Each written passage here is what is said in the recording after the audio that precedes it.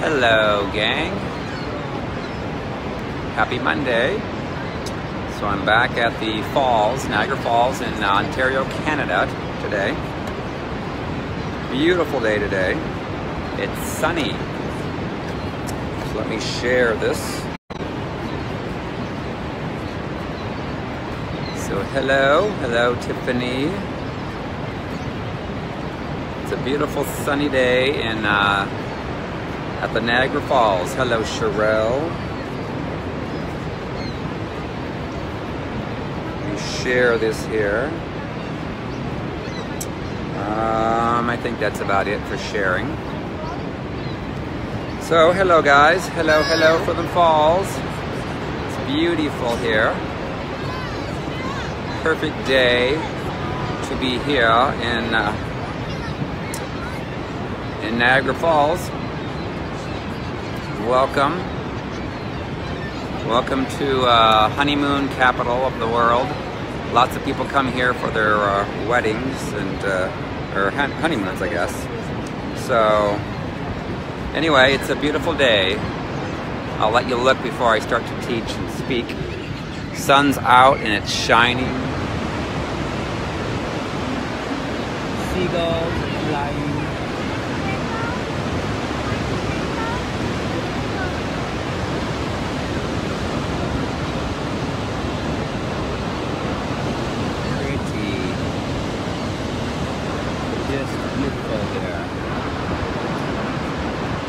Imagine taking a bath in that.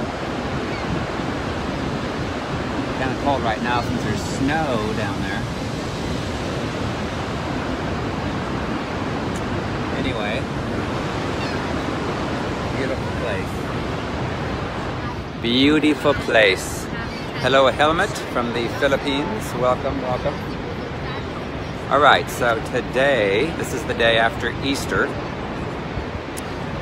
The Lord wanted me to talk about how God is uh, raising up no names to become spiritual giants, to deliver those with names and with titles that are already established in the church and in ministry. That there's a lot of people out there that aren't uh, set free yet from the spirits of Jezebel, Leviathan, and they're very prideful and they're not uh, helping the Lord's kingdom. So, so last year, on Easter, the Lord had me, I was out in California, and He had me go out to the Sequoia National Park where the big trees are at, the giant trees, the sequoias. And uh, I remember driving up to the very top of uh, Sequoia National Park where the tall trees are at, and they have a tree there called the General Sherman. That's the tallest tree apparently in the world. It's like 275 feet tall. It's like huge. And uh, when I went there, I got a picture taken in front of it and it said General Sherman on it. Well, when I was driving away, the Lord showed me a vision of it. Instead of saying, you know, S-H-E-R, it said S-C-H-U, and then man, General Schuman, which of course is my name. And then he spoke to me and said that that's what he's going to have me do is to start to raise up an army of end time deliverers all over the world to get people set free from the Jezebel, Leviathan, and Ahab spirits. So I, I took a picture of it and I superimposed my name, my initials, changed uh, the second, third, and fourth letters of Sherman to Schuman. So I'm going to show you what it looks like. There it is. So there's the name. And there's the tree and me. It's huge.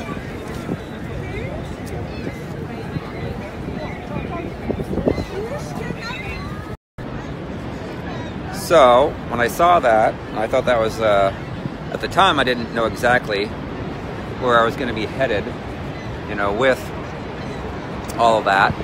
And at the time I had not started training people.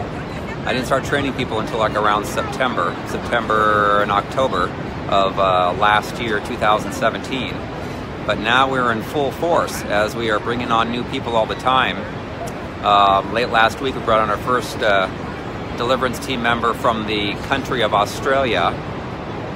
Um, I'm gonna, her name's Megan. We're going to be bringing on a second one. His name's Wade shortly. And so we'll have two people in Australia that will be on the team. We have uh, people right now in the Philippines. We have Helmet. We have them in Canada, John Lawrence. And we're getting ready to pick up some more here in Canada because we just did a training this last weekend. So it's exciting to see this growing. I'm going to be doing my first uh, training with the uh, deliverers in May, May the 6th. Uh, and uh, looking forward to that.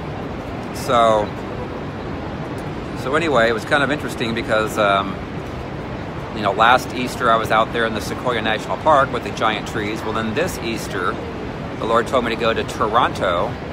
I had never been to Toronto, the city of Toronto, before. I think it has like 2.7 million or something in it.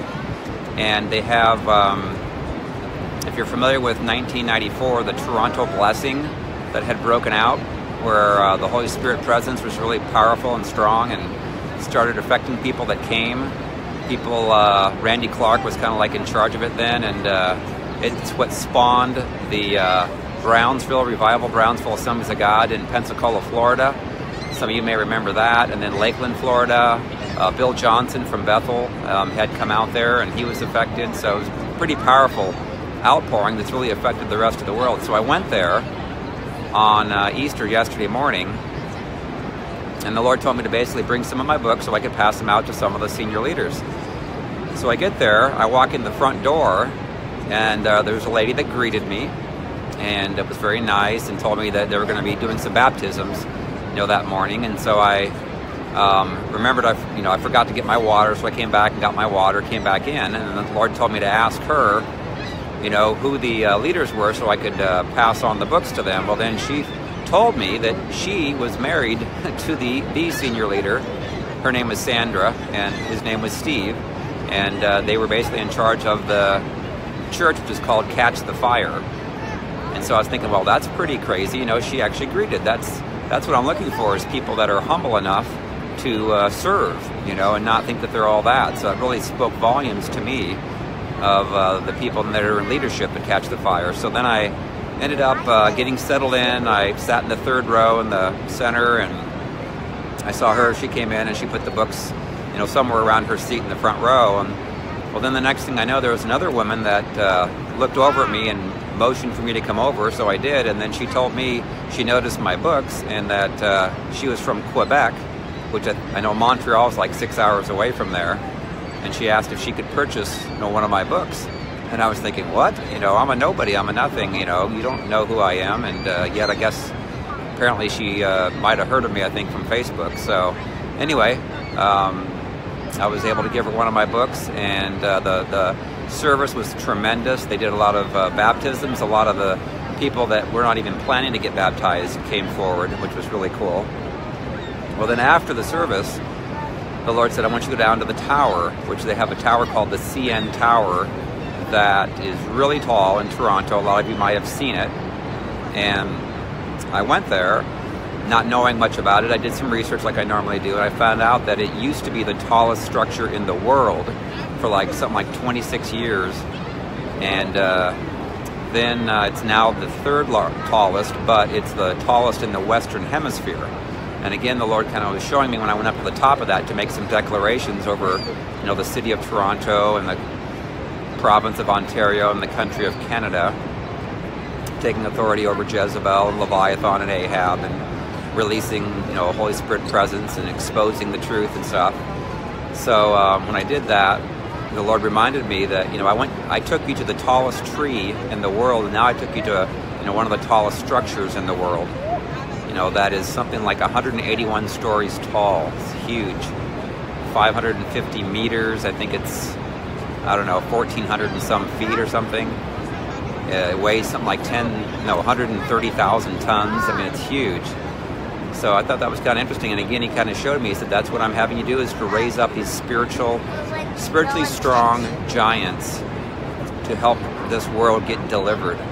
And I'm um, raising up people who are no names and no one has heard of before, that didn't have ministries before, in order to bless them. So you know, those, I'm not saying that all those that are leaders, obviously, that are in the church or ministries have uh, pride, but there's a lot that do. And the Lord's uh, using Restored to Freedom and our team members to help people get delivered from that so that they can totally be freed because Christ is coming back for a pure and spotless bride. So, anyways, pretty, uh, pretty cool um, what the Lord continues to do. And again, I just uh, had messaged, uh, exchanged some messages back and forth with a woman uh, this morning, in fact, that's from South Africa. That'll be the first South African that's been uh, certified under Restored to Freedom. So if you've not been certified yet and you want to help join this movement and help others in your area to get delivered, then I encourage you to. Simply matter of uh, going to Restored to Freedom on the uh, page, my Facebook page, and then watching the four one hour videos that I have, and then reading the books Restored to Freedom and Waking the Lion Within that you can get on Amazon in either paperback, Kindle, or Audible. And then um, getting the School of Ministry training guide. And the Lord will connect you. I mean, I'm seeing people all over the place. Got some people in New York City seeing tremendous success. Seeing people out in Washington, tremendous success. And it's growing. So all the time. And it's great to see it. It's awesome to watch. Um, let me see here. So, um, yeah, let me talk a little bit about the weekend. So, this weekend I was in Niagara Falls, Ontario, and I did a corporate wide deliverance on Friday night. And there were several uh, amazing miracles that came out of that. One woman um, said that her face, I guess, it always had pain in it. And when she went through the last prayer, the Ahab prayer, the pain left immediately when we commanded those spirits to go. So how cool is that? Um, also, there was a couple that went there and they were having a lot of strife in their marriage, and both husband and wife went through it. I believe they were from India, and uh, he went home that night and they had no strife at all. And the next day, no strife at all, and it was like they completely got set free and changed. And uh, he actually yeah, came back the next day and uh, wanted to get trained so that he could help other people. So so cool testimonies were happening. In fact, Saturday night, when we were done, there was uh, several people that approached me, asked me if I could come speak. They have a large Bible study group on Wednesday night in St. Catharines, um, Ontario, which is north about 20 miles, I think, from Niagara Falls. So I'm going there Wednesday night now at 7 o'clock.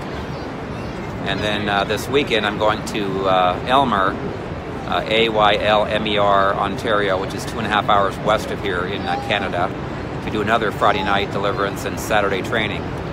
So God's uh, starting some fires here, starting some huge revivals. They've been prophesied that the Niagara Falls region is going to have some huge, huge revivals break out here, and they really believe that this is going to spawn a lot of it because when people get pure and righteous before the Lord, then it happens. So they can't contain themselves. Um, um, um, um so Isaiah 59:19 says, so shall they fear the name of the Lord from the west, and his glory from the rising of the sun. When the enemy comes in like a flood, the Spirit of the Lord will lift up a standard against him. So I love that verse. Again, it's Isaiah 59 19. Love 19. You know, what represents the flood? But you can take a look right here.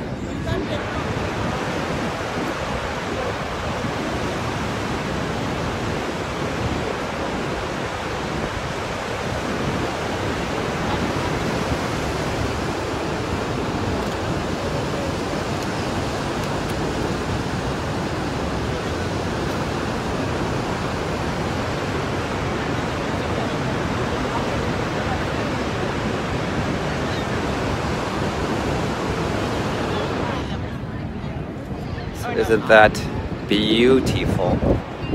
Beautiful, beautiful backdrop here. So in the, in the home that I am staying in, in Niagara Falls, in the neighborhood last night, I just happened to be driving a different way. And I noticed on my GPS it showed that there was a park. So I went to the park, and as I'm driving by it, it said Mount Carmel. Mount Carmel Neighborhood Park. And I was thinking, oh my gosh, how funny is that? Because when I used to live in Indiana, I lived in Carmel, Indiana.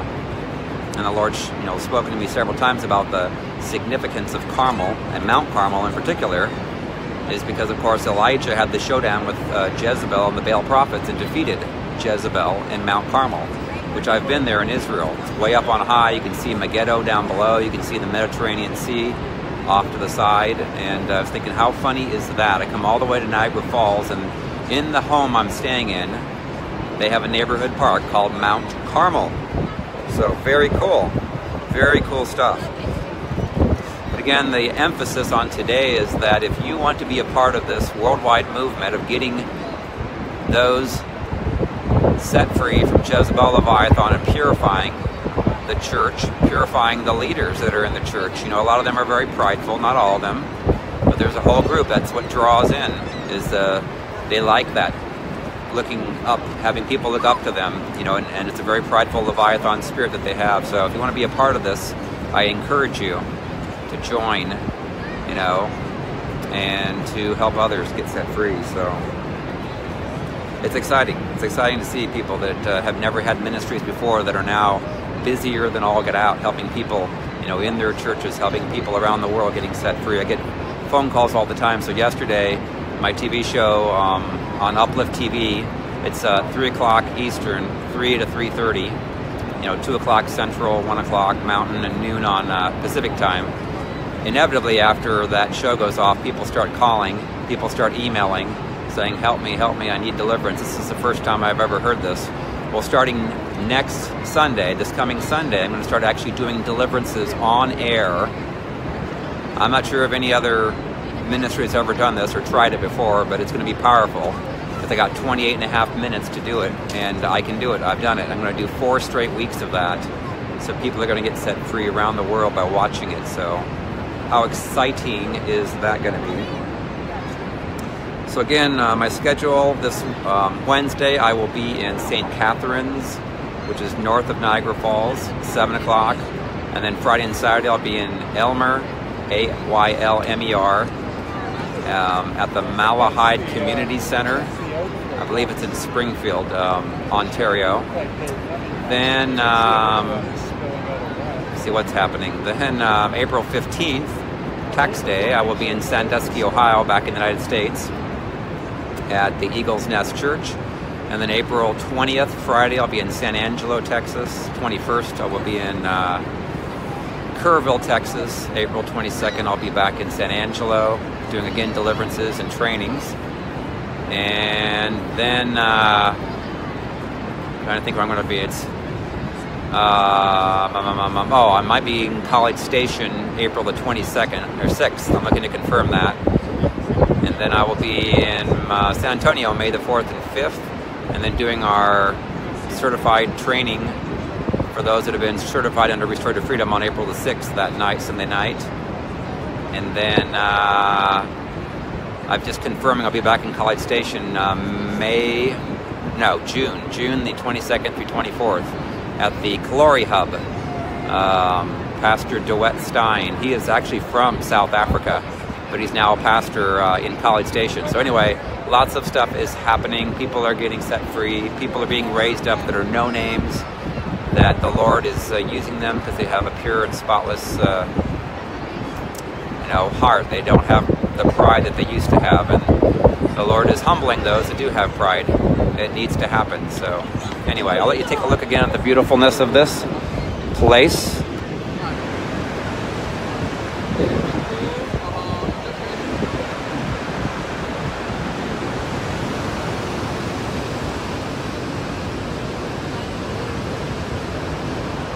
Those are the American falls over there. And then these are the Canadian falls over here. The horseshoe, they call it. It's beautiful. A lot of honeymooners come here. It's about an hour and a half south of uh, Toronto. Toronto's across Lake Huron.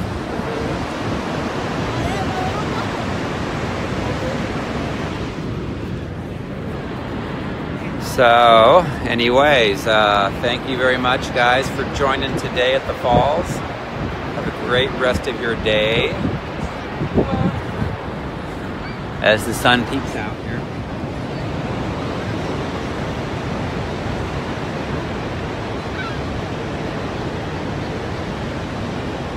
And keep your peace on. Keep your joy on Keep your purity on. Alrighty, we'll see you later. Bye bye.